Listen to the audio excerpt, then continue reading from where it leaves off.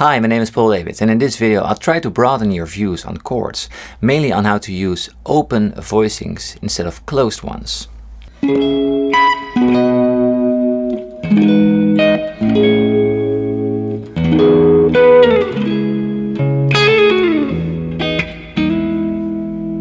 The tabs for this, as well as a worksheet of all the examples I'm playing, are available at my Patreon page. The most basic chords, also called triads, are built on the 1, the 3 and the 5 of its root note. When you play a chord strictly in that order, you've got something that is called a closed voicing.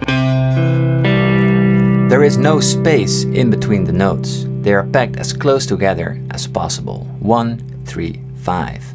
If you were to spread out that voicing a bit, let's say we ditch the 3 and put it after the 5th, then we get 1, 5 and a 3 on top. Now we've got something that is called an open voicing. A shape real commonly used for these voicings is like this. Fret 3 on the A string, fret 5 on the D string, and fret 5 on the B string. So this is your open C shape, 1, 5, 3. You can play the same chord on the E string, 8, 10, skip a string, 9. And if you want to turn that chord into a minor chord, you simply lower the third, which is on the second string. So fret 5 becomes fret 4, and for this shape, fret 9 becomes fret 8. And this unlocks some very cool chord shapes that are used a lot on a guitar.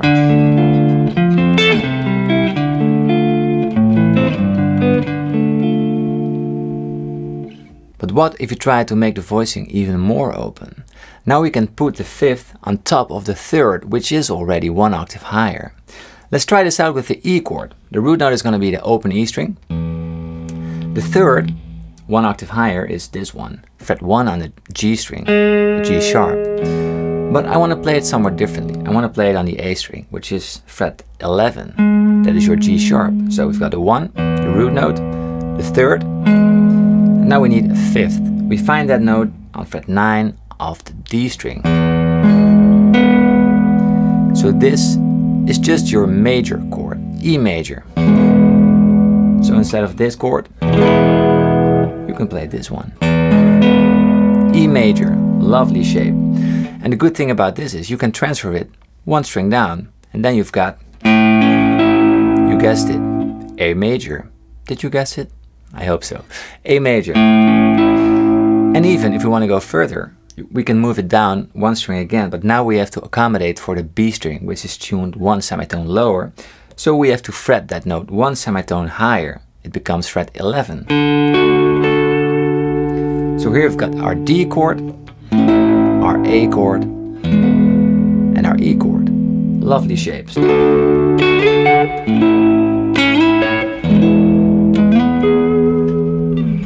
I really love those shapes because they sound full body, they span a wide range of notes, but they sound real open, leaving more room for other notes. And also these shapes, the notes up the neck sound a little warmer because higher up the neck, the notes have a little bit more low end to the sound. And now, just for fun, let's try to find the most open voicing we can find on the guitar. So let's start off with the lowest note we've got, an E, for us, just six string guitars.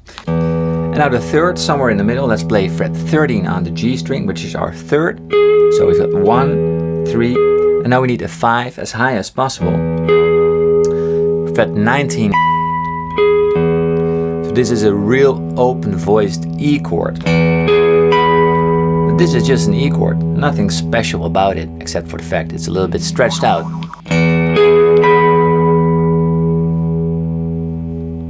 Now, Let's give them a little more color. Let's add a 9 to the chord. This just means we add the ninth note from the major scale to the chord we've already got. And the ninth note is basically the same as the 2, but then one octave higher. Let's try it out on the G chord. Here I've got a G major chord. Closed shape is like this. Fret 3 on the E string, fret 2 on the A string, and an open D string. G major, close shape, 1, 3, 5. And now we need a 9. The 9 from G is an A, because the A is the 2 of G. G, A. the note after G. So the A is fret 2 on the G string. So this is your G add 9 chord. 1, 3, 5, 9. It's a beautiful shape on itself, a real cool sound.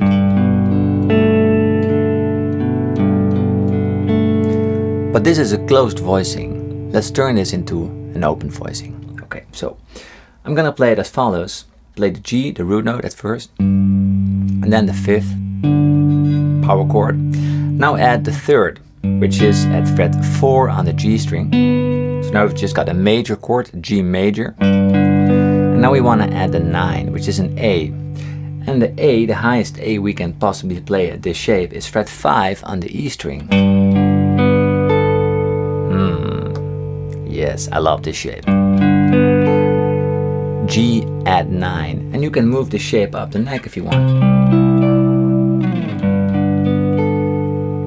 I really love these shapes and you can tell because I use them in my latest live looping video called Birds where I play A add 9 over here. Followed by D add 9.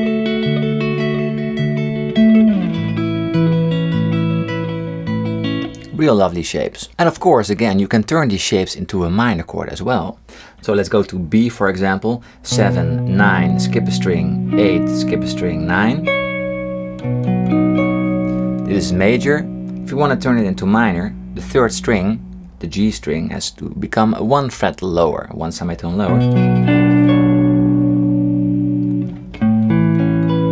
This is A add 9, which is a major chord and then B minor add 9.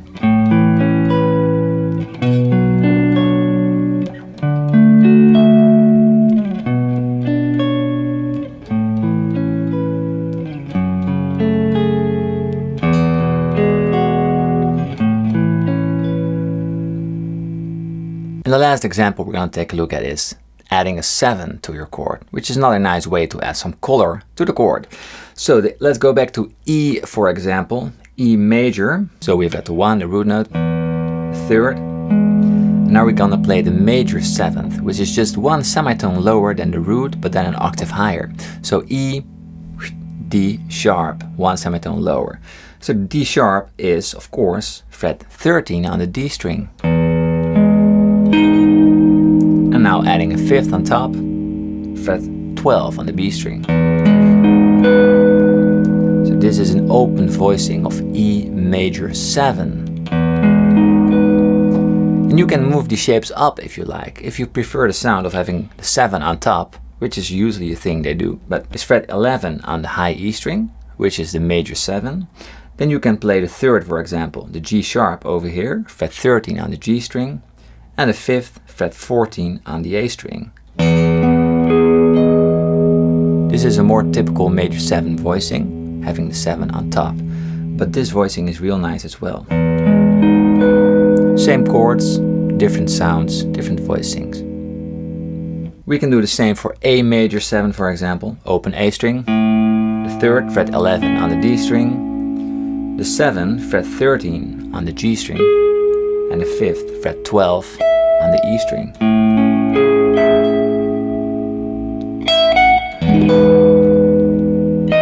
So now you can make all these beautiful chords with just adding notes.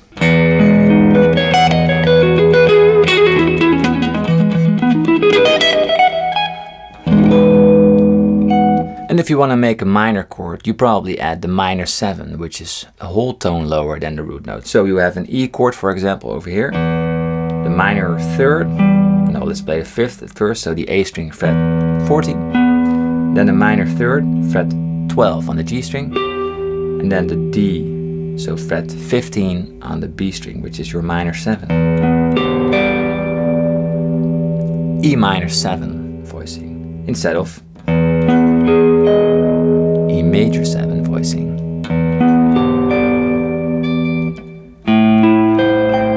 A minor 7, E minor 7, D minor 7, etc. etc. So you can really play around and if you understand how these chords are built, it's really easy making them yourselves. And that is very awesome to do because you can really create your own sounds. This video is really meant for you to explore this topic some more and to dive deeper into this subject because it's very interesting. And you have to think about it a lot at first, but if you do it a lot, it comes out real naturally. So if you like this video, make sure to hit that thumbs up and subscribe to my channel if you haven't done that already. Alright, thanks for watching, have a wonderful day, see you next time with another video, this was Paul. Cheers!